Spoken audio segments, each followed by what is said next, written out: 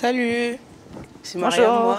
Bonjour Mariam. C'est eu au téléphone. Oui, bien bienvenue au CRIJ. Merci hein. beaucoup. Euh, donc on va, on va essayer de, de répondre à toutes tes questions. C'est hein. exactement ça. Bon, super. Voilà. On va s'asseoir. Vas-y.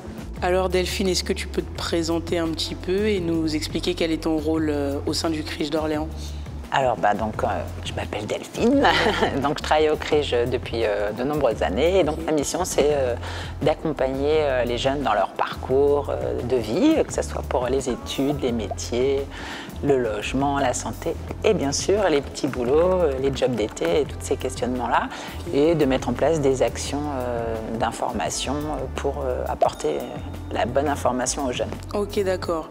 Et du coup, justement, concernant ces jobs d'été, ces jobs pendant les études, comment la crise sanitaire a affecté, a eu un impact dans ce domaine-là?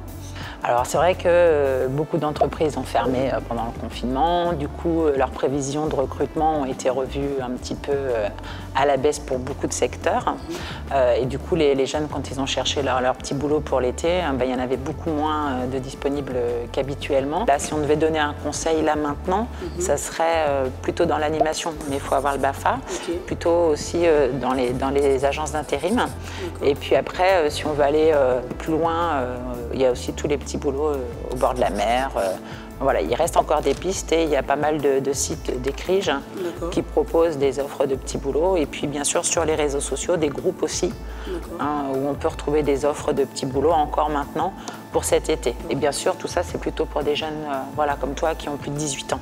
En dessous de 18 Donc, ans, 18 c'est... Alors, on a le droit de travailler, mais là, euh, avec la situation cette année, c'est encore plus difficile.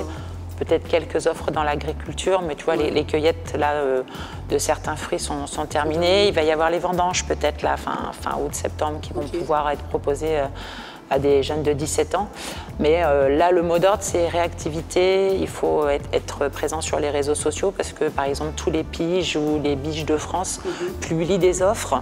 Mhm. Donc vraiment, euh, voilà. hein, je sais que Facebook, c'est plus trop votre truc, Non. mais je vous conseillerais quand même de, de- voilà, d'avoir un, un compte Facebook pour pouvoir avoir accès à ces offres qui, sont publiées comme ça au quotidien. Il faut être très, euh, Très réactif. ouais. Tu vois, euh, à s'inscrire sur des groupes, tu vois une annonce qui, qui, qui est publiée, il faut candidater tout de suite. Ça veut dire avoir son CV, sa lettre de motivation prêt pour être super réactif. Et pour les agences d'intérim, c'est pareil, il faut s'inscrire, mais après, il faut les relancer, on va dire, au quotidien pour montrer qu'on est motivé. Et après, sur les petits boulots de rentrée, c'est pareil, je pense que ça va, ça va être difficile à se mettre en place parce que les entreprises ont du mal à se projeter là. Mais il y aura forcément euh, des offres pour les étudiants, euh, notamment dans tout ce qui est euh, grande distribution.